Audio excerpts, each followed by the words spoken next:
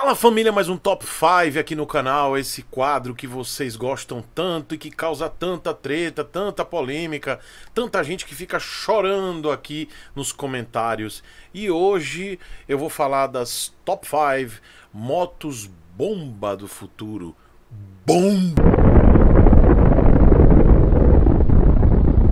Mas antes de começar esse polêmico quadro, eu gostaria de agradecer a todos os profissionais que estão aí mantendo o nosso sistema funcionando, motoboys, mototaxistas, motofretistas, profissionais de saúde, motoristas, é, pessoal de saneamento básico, profissionais da limpeza pública, profissionais que trabalham no setor de energia, de telecomunicações, profissionais maquinistas, porteiros, entregadores de qualquer coisa, porque sem esses caras, galera, é, tudo ia parar. Então, nosso agradecimento, meu agradecimento a todos vocês, todos, todos que estão trabalhando aí nos serviços essenciais para fazer o nosso a nossa rotina continuar operando, a nossa sociedade continuar funcionando. Então, meu muito obrigado a vocês. Também eu quero convidá-los a participar das rifas do canal, tá aqui em cima, chicosepulveda.com.br e também me sigam lá no Instagram. Todos os dias eu publico as promoções dos meus patrocinadores. E galera, nesses tempos agora de crise e muita coisa vai acontecer daqui para frente e muita coisa vai mudar, assistam esse vídeo aqui que eu publiquei, um vídeo muito importante para que vocês entendam tudo que a gente pode fazer para melhorar aí nossa até nossa expectativa de futuro em relação ao mercado. Mas eu também queria que vocês pensassem num consumo consciente, tá? Quem tem condição de arcar com uma dívida, beleza, mas quem não tem, segura as pontas, tá? E vamos enxergar que é muito importante que a gente apoie o mercado local, tá? O comércio local. Então, a partir de hoje, eu vou iniciar uma campanha aqui no canal, sempre dando apoio ao mercado local, que você apoie o mercado local, a loja, a oficina perto da sua casa, seja o supermercado, o mercadinho, o açougue, a oficina de motocicletas, a loja que vende produtos de motocicletas. Então apoie o comércio local, é muito importante para essa retomada aí da economia aqui no nosso país. Bom, pessoal, vamos começar. Primeira coisa que eu quero dizer para todos vocês, uh, essa, esse top 5 é um top 5 um pouco diferente, porque todas as motos eu tenho, é, eu sei do valor e tenho um apreço, tá? Todas essas motos que eu, que eu vou citar aqui, e assim, não quero fazer média com ninguém não, tá? Como eu digo, eu não vim aqui para fazer amigos, mas eu tenho que deixar claro que todas essas motocicletas que eu vou citar aqui, todas elas têm um valor.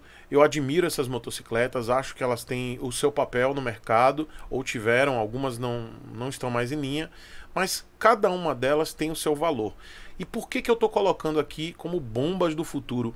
Vocês vão entender no decorrer, mas cada uma tem o seu motivo e deixando claro para vocês, para você que vai chorar aqui nos comentários, vai ficar chateado comigo, é a minha opinião. Deixa a sua. Na quinta posição, Honda CG 160 e Honda Bros 160. E aí a CG a gente vai para as variantes dela, Fan, Titan, Start, blá blá blá blá blá. Motor 160 e suas variantes, né? Bros, CG e as suas irmãs e por aí vai.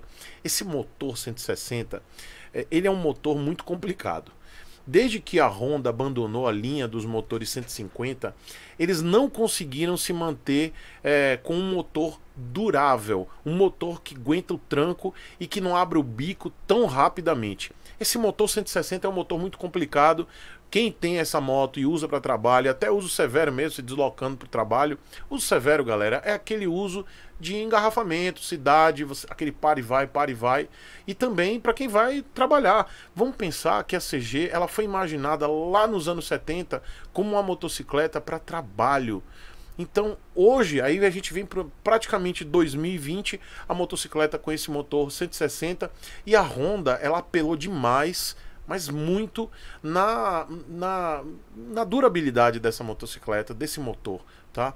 Então não é um motor muito durável, não é um motor forte o suficiente para aguentar o tranco, dando exemplo aí do, dos motores varetados. E aí vamos pensar numa palavra, quer dizer, numa frase, obsolescência programada. A Honda apelou demais na obsolescência programada desse motor. E aí eu vou tirar como base o motor varetado 150. Motor que quem tem uma moto de 20 anos atrás sabe muito bem que é uma moto valorizada bastante no mercado, porque muitos profissionais aí que transportam gás, peso, que fazem transporte, seja de frete, mototáxi, sabe que essas motos são muito valorizadas no mercado, exatamente por terem muito torque, um motor extremamente robusto, os motores varetados de 150 cilindradas da Honda. E quem tem uma moto de 20 anos sabe que essa moto não vai quebrar tão fácil, claro, sendo feitas as manutenções preventivas corretamente. Mas esse motor 160, a obsolescência programada desse motor é, é, uma piada. Então acho que a Honda ela fez um motor que eu tenho certeza, galera, é uma bomba do futuro. Daqui a 20 anos, ou esse motor vai ser. A gente não vai ver mais motor é, 160, ou a gente vai, vai encontrar vários motores 160 com várias retíficas. E lembrando, um motor desse, ele às vezes nem vale a pena você fazer a retífica, principalmente, vou dar um exemplo, o virabrequim de um motor desse não dá nem para fazer uma retífica decente. Claro que alguns fazem aí retífica de algumas peças, virabrequim, o que quer que seja, mas não fica perfeito, não fica a mesma coisa. Então, galera, é um motor que vai dar muita dor de cabeça no futuro. E com certeza esse motor 160 da Honda vai ser uma bomba do futuro. Na quarta posição, eu sei, eu sei, os jaquetinhas ficarão chateados. Meus colegas jaquetinhas ficarão muito pé da vida, mas é a vida, eu tenho que falar, eu tenho que falar de jaca e de jaquetinhas. E a Harley Davidson V-Rod é uma bomba do futuro. Porque, galera, uma motocicleta aí que tem um projeto excepcional e aí muita gente acha que é um projeto da Porsche, né? Que o motor é um projeto Porsche. Não, galera. A Porsche participou do projeto dessa motocicleta. É uma motocicleta aí com linhas Muscle, baseada nos Muscle Cars, né?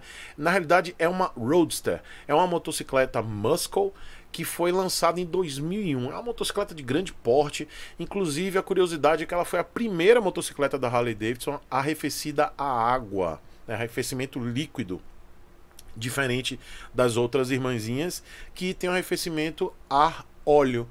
E essa V-Rod, galera, ela tem um custo de manutenção absurdo, bem é assim, é fora da curva. Até porque ela tem um pneu, só pra você ter ideia, o pneu traseiro é 240 milímetros. Então é uma moto muito focada para é, desempenho, para performance e é uma moto muito específica. E aí vamos imaginar, uma moto dessa na prática, ela não fazia curva. Vamos pensar que Harley Davidson, galera, é uma jaca. Jaca não faz curva. E aí quando você fazia uma curva numa V-Rod, ela raspava a pedaleira.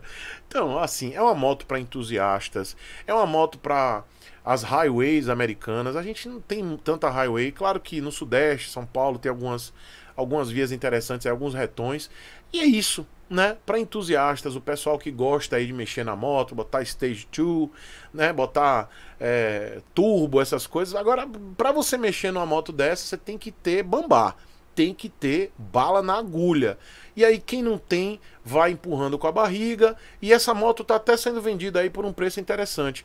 É, eu acho que. Eu não vou, eu não vou falar isso, não. Não vou falar que tipo maré. Que aí é, a galera, acho que os jaquetinhas. Os jaquetinhas vão ficar muito loucos comigo. Tá, tá, tá. Não, não falei, não falei. Nem vou cortar, mas não falei.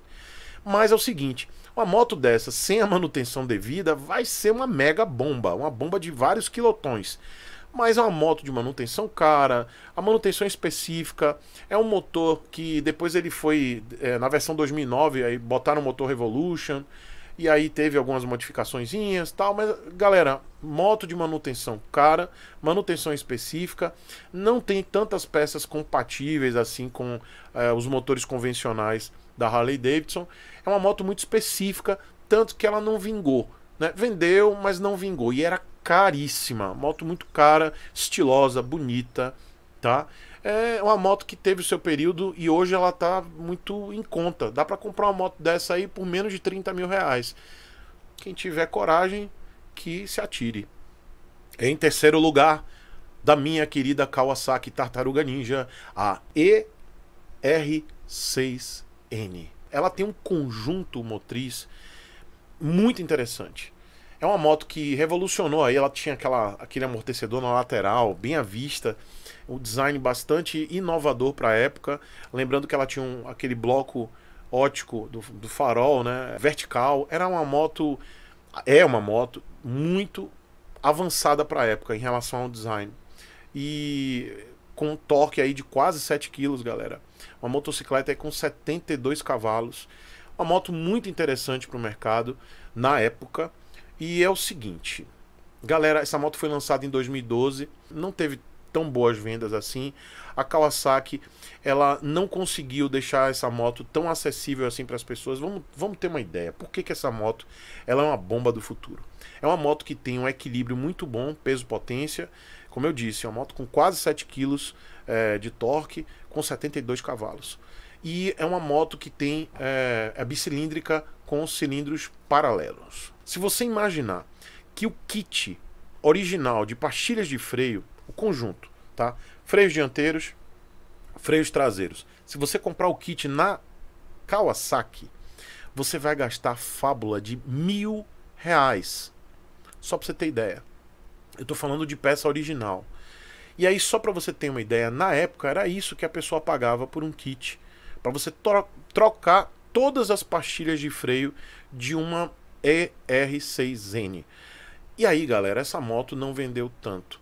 E quando a gente não consegue, a gente que eu falo mercado, né? No caso, a empresa, a Kawasaki, a montadora, a fabricante, não consegue vender tantas motocicletas, aí vem a bomba do futuro. Porque a moto sai pouco, não tem tanta, tantas peças assim disponíveis. A Kawasaki não conseguiu dar esse empuxo aí de vendas nessa motocicleta, que é excelente. Não estou dizendo que a moto é ruim, mas galera, é muito caro manter uma ER6N. É muito caro até para os padrões de hoje. É muito caro mesmo. Então a gente vê hoje, a gente encontra a ER6N sei lá, 16 mil reais, dependendo do ano, 16 a 18, 18 mil reais. Acho que máximo aí você acha por 20 mil em excelente estado. Mas de 16 a 20 mil reais, por 16 mil reais numa moto excelente dessa, é tentador. Mas aí, galera, é a mesma coisa que eu falo da V-Rod. Você consegue acessar, comprar, mas será que você consegue manter uma bomba dessa? Não é uma questão de qualidade da motocicleta. Todas as motocicletas que eu estou falando aqui, com exceção da, da quinta posição, são motocicletas de extrema qualidade, durabilidade. Mas o problema é, será que você vai aguentar bancar uma moto dessa? E aí você pode até pensar, poxa, mas tem peça paralela. Mas o problema é o seguinte, quando você coloca peça paralela, não é uma garantia de que essa peça vai lhe dar a segurança, a performance e, e a durabilidade que uma peça original oferece. E aí Infelizmente, a Kawasaki ER6N não é uma moto muito interessante para você, mesmo que ela tenha um valor tentador aí de aquisição em pleno 2020. Eu não recomendo e daqui a alguns anos essa moto será uma bomba. Em segundo lugar, uma motocicleta que ela me surpreendeu muito. Já rodei nessa moto, já fiz um, um review, test ride, tá aqui. Vocês podem assistir o review e o test ride. E é, quem fez, quem me cedeu essa moto foi meu querido Fábio Leal. beijo, Fábio Leal. E é o seguinte, pessoal. A Suzuki Inazuma 250 é uma moto muito bonita, com acabamento muito interessante, mas vendeu pouco. A Suzuki não soube fazer o seu papel enquanto essa moto estava aqui no Brasil. Ela era muito, muito, muito cara para o padrão. Tudo bem, na época era uma das melhores motos de 250 cilindradas, é uma das melhores da sua época. Uma moto com acabamento muito bonito, uma moto infelizmente pesada, mas com é, um, uma, um conjunto de motor, é, cavalaria, potência, que eu não, eu não vou entrar em detalhe aqui agora não, tá pessoal? Eu quero dar só a ideia para vocês do seguinte, é uma moto que hoje é quase impossível de manter uma moto dessa. Só para vocês terem ideia, o kit de transmissão dessa moto custa quase 500 reais em alguns lugares. Depende, tá? Isso é, e assim você só encontra um kit desse na, na, na, concessionária Suzuki. É muito, mas muito difícil você achar um kit de transmissão é, de uma Inazuma 250 no mercado paralelo. o que torna quase impossível você manter uma moto dessa. É uma moto 250 que você imagina que você vai ter um custo muito acessível. É uma moto que não é tão econômica assim, exatamente pelo peso dela. E aí só, deixa eu só falar alguns detalhes dessa motocicleta, alguns detalhes bem superficiais. É uma moto fabricada pela Haoju, tá? Sob é, a, a marca da da Suzuki aqui no Brasil e muitas outras motocicletas foram é, trazidas aqui no Brasil com a marca Suzuki, mas fabricada pela Haoju, que é a empresa que fabrica todas as motos da Suzuki de baixa cilindrada. Outra curiosidade da Inazuma 250 é que é uma moto utilizada pelas forças policiais chinesas. Mais uma curiosidade da Inazuma 250 é que é a mesma plataforma base para a Vestron 250. Pois é, pessoal. A Vestron 250, que é lançada, foi lançada aí em alguns países, até vizinhos da gente aqui na América Latina, ela tem a mesma base da Inazuma 250. É uma moto pesada, e aí muitas pessoas ainda têm esperança. Em pleno 2020, tem gente com esperança de vir a Vestron 250 para o Brasil. Galera, tirem isso da cabeça. Já perdeu o time, não vale. A moto vai chegar absurdamente cara e só em você olhar os aspectos técnicos que não não vou entrar em detalhes aqui, se vocês quiserem, entrem em outros vídeos que eu fiz, inclusive o review da Inazuma, vocês vão ver os detalhes técnicos, mas só em vocês perceberem, ela vai chegar num valor absurdo de, sei lá, 22, 23 mil reais. Tô falando da Vestron 250. E aí ela vai competir com motocicletas muito superiores. Então perdeu tempo e, e aí voltando para a Inazuma 250. É uma moto que o acabamento você praticamente não acha nada paralelo ou próximo a isso. Você só vai poder comprar absolutamente tudo dela na Suzuki, na rede autorizada Suzuki. E aí, galera, é uma facada. É, é impossível você manter o Inazuma. É uma moto muito bonita, ela lembra muito a B-King, que vocês estão vendo agora. E infelizmente você compra hoje uma Inazuma 250 por um preço bem convidativo, mas eu digo para vocês, é barril. Em primeiro lugar, será que você acerta? Tempo.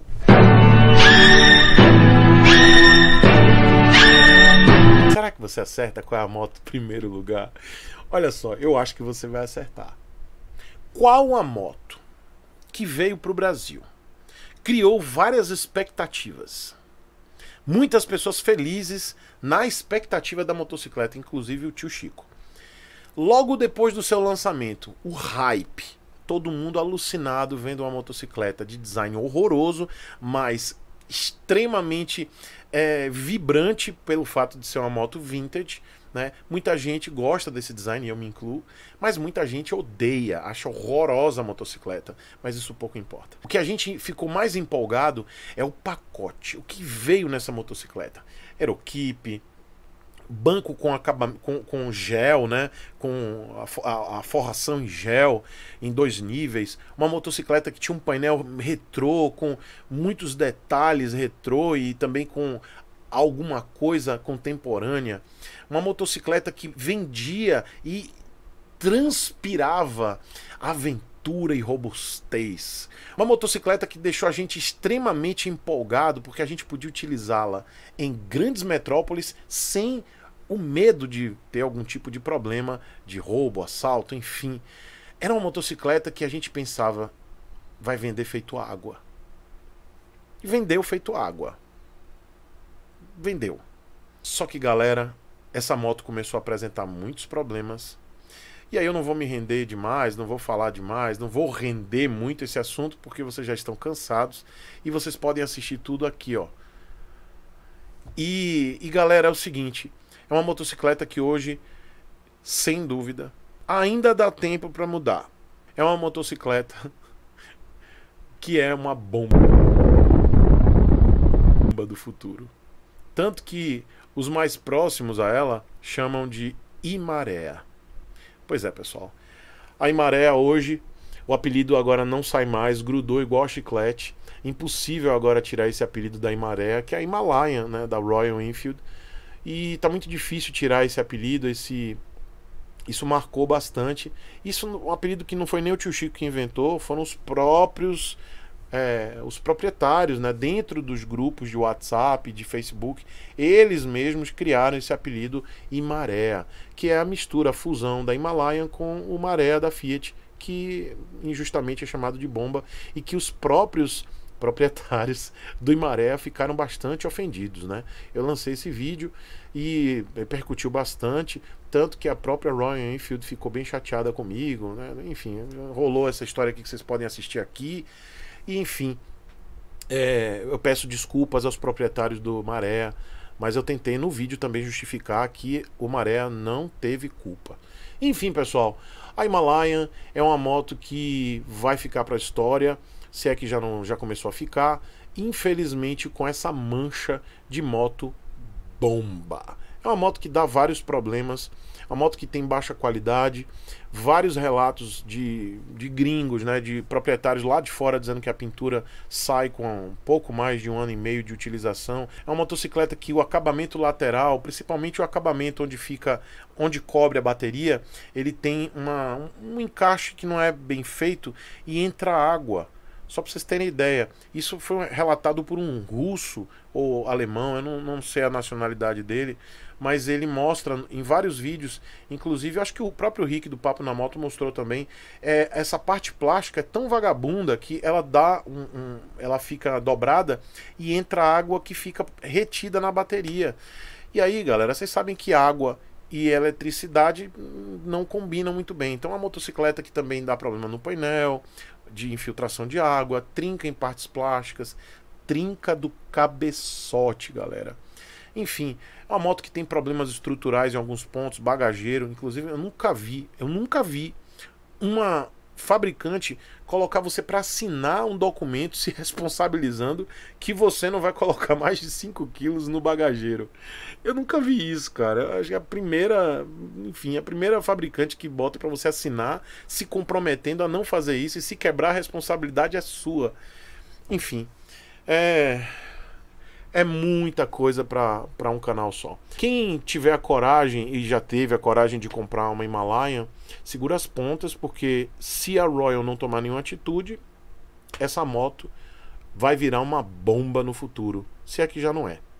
Bom, família, fora o choro, eu gostaria que vocês deixassem aqui os comentários, a opinião de vocês, opinião respeitosa, uma opinião participativa, respeitando a opinião do tio e deixando a sua opinião.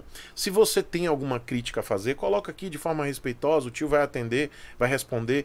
Mas se você vier jogando, jogando cocô, fazendo é, muita birra, batendo o pé, o tio vai ignorar. E aí o tio só vai ficar aí com engajamento, muita visualização. Então vamos fazer o seguinte: vamos conversar, vamos debater. Deixa aqui sua opinião, deixa o que você acha. E vou te dar mais uma sugestão. Você que gosta de debater, que gosta do bom debate, deixa aqui a sua top 5. Eu queria saber qual é a sua top 5 bombas do futuro. Porque é o seguinte: é, tem algumas motocicletas que já são bomba, tipo a C-Bomba, né? A C-Bomba, a CB300 da Honda, então eu não coloquei. A XRE 300, as antigas, é, até 2016, eu também não coloquei porque já são bombas. Então, é por isso que eu não coloquei essas motocicletas, mas eu queria saber qual o seu top 5 bombas do futuro. Deixa aqui nos comentários pra gente dar uma risada, pra gente se divertir. E você que não tá muito satisfeito com essa minha lista, Pô, deixa a tua sugestão também, deixa aí. E se você não gostou, deixa o seu dislike. Se você gostou, deixa o seu like. E se você não gosta desse canal, eu vou dizer o seguinte: se inscreve, continua me assistindo, que um dia eu tenho certeza que você vai gostar. Tá bom? Um beijo e até amanhã. Valeu!